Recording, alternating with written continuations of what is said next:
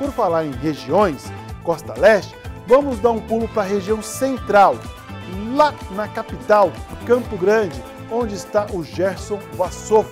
Ô Gerson, está ocorrendo aí uma coletiva de imprensa, explica para a gente aí qual é o tema aí dessa coletiva. Bom dia.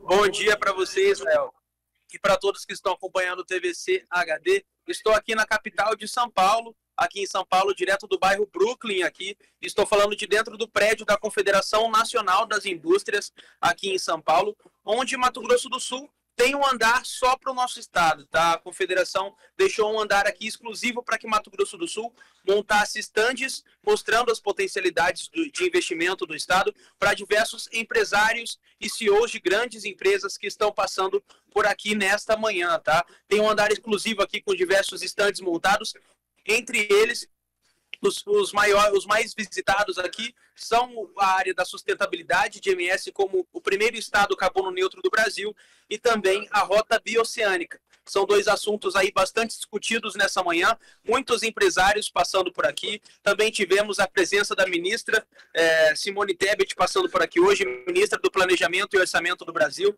Ela passou por aqui e disse que veio a convite do governador Eduardo Riedel prestigiar o evento. Falou que é muito importante Mato Grosso do Sul estar vindo a São Paulo. É a primeira vez que o nosso estado realiza uma ação como essa. Ela disse que Mato Grosso do Sul está vindo a São Paulo é muito positivo para buscar esses novos empreendimentos. De fato, Mato Grosso do Sul tem diversas potencialidades para investimentos. A gente só precisa que essas potencialidades sejam mostradas aos investidores em potencial para que então a economia do estado alavanque cada vez mais. Por aqui também, às 11 horas, horário aqui de São Paulo, há pouco, teve uma coletiva de imprensa aqui com o governador do estado, Eduardo Riedel, e também com o vice-presidente da CNI, o Sérgio Long.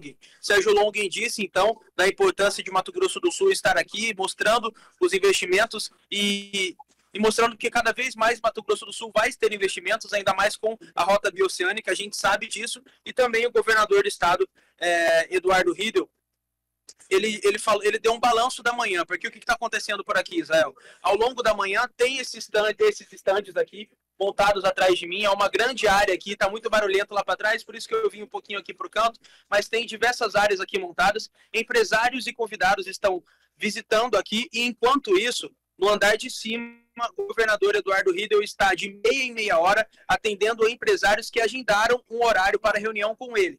Então, diversos empresários já sabiam que Mato Grosso do Sul, que o governo de Mato Grosso do Sul viria para cá, então agendaram essas reuniões. Na coletiva de imprensa, o governador deu então um balanço falando que amanhã foi muito positiva e que também espera que a tarde seja assim. O que, que ele quis dizer com esse positivo? Negócios estão sendo fechados por aqui, novos negócios estão sendo fechados aqui em São Paulo. Então, novos investimentos estão indo para Mato Grosso do Sul.